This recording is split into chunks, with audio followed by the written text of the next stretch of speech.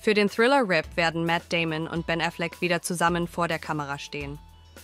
Regie und Drehbuch stammen von Joe Carnahan, bekannt für Smokin' Aces und The Grey, und der Film soll im Herbst gedreht werden. Über die Handlung wurde noch nichts verraten. Affleck und Damon werden Rip auch über ihre Firma Artists Equity produzieren. Das Duo produzierte kürzlich den Film Air Jordan, bei dem Affleck Regie führte, und spielte darin die Hauptrolle. Artists Equity hat mit Lionsgate einen Vertrag über Small Things Like These mit Killian Murphy in der Hauptrolle abgeschlossen. Zu den kommenden Projekten von Artists Equity gehören eine Fortsetzung von The Accountant und Unstoppable mit Jennifer Lopez in der Hauptrolle. Affleck und Damon gründeten Artists Equity, um mehr Schauspielern und Crewmitgliedern eine Gewinnbeteiligung zu ermöglichen und bauten rasch eine beeindruckende Liste von Projekten auf.